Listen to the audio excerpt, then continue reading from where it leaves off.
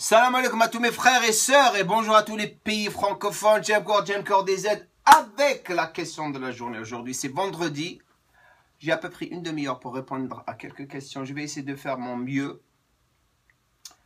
Cette question vient d'un jeune de la page Facebook. Euh, vous pouvez laisser vos questions sur la page de Facebook. Encore des aides.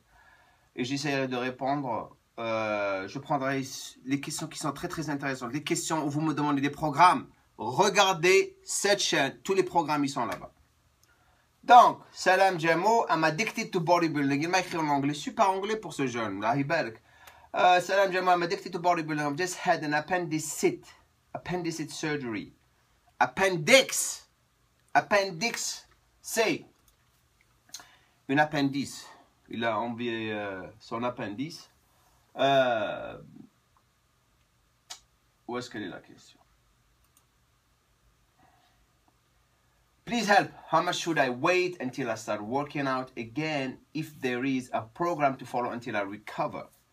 Il cherche un programme à suivre parce qu'il est en train d'essayer de récupérer. La réponse pour toi, c'est, mon cher frère, c'est de récupérer parce que tu peux pas, tu peux pas t'entraîner juste après l'opération. Ça va prendre du temps, donc il faut avoir de la patience. Là, le plus grand conseil que je te donne, au lieu de stresser sur ce problème, tu t'éduques, tu lis, tu, tu, apprends encore plus, tu payes attention beaucoup à ta diète, tu manges sainement encore. Tous les gens qui sont en train de regarder cette, euh, cette photo, cette vidéo en ce moment, lorsqu'on a, on a un problème, on est malade ou quelque chose comme ça, ou on essaye de revenir euh, pour, euh, pour s'entraîner, et on ne peut pas, comme des situations comme ça, on focalise sur la diète, sur la bouffe, on mange seulement comme ça. Si vous n'êtes pas en train de créer un calorie déficitaire, et comme lorsque vous vous entraînez, vous mangez n'importe quoi, vous allez encore avoir plus de problèmes lorsque vous essayez de revenir pour vos entraînements. Un exemple typique, moi, lorsque je m'entraîne pas, ça m'arrive des fois lorsque je suis très, très, très, très, très occupé par le boulot, j'essaie de m'entraîner le plus possible,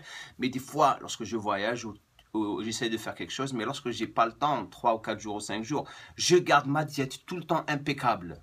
C'est pour ça que je prends jamais de gras. C'est très très rare où je prends beaucoup de gras. J'essaie de garder mon gras à peu près à 12%, 13% euh, lorsque je suis, lorsque euh, lorsque je suis pas en période de sèche. La période de sèche, elle est tout le temps lorsque je, suis en train de filmer des vidéos pour vous. Donc, euh, donc pour répondre à ta question, euh, il dit aussi, est-ce que je peux reprendre les pompes, la barre fixe et les abdos? Merci beaucoup pour, euh, désolé pour le dérangement. Tu me déranges pas du tout, mon cher frère. Euh, non, prends ton temps. Je crois que une appendice, lorsque vous dites, c'est ça, appendice en français, je crois. moi, si j'étais toi, deux semaines, trois semaines, tu commences à faire des bras, tu touches pas tes abdominaux, tu commences à faire des exercices comme des extensions de jambes, peut-être des euh, parce que, comme j'ai dit, l'exercice, le, l'action de l'exercice commence du tronc, d'ici. Donc, si tu as une opération, et ça, c'est pas, ça, tu l'as pas récupéré complètement, tu vas avoir des problèmes. Donc, prends ton temps, ne le bien mon.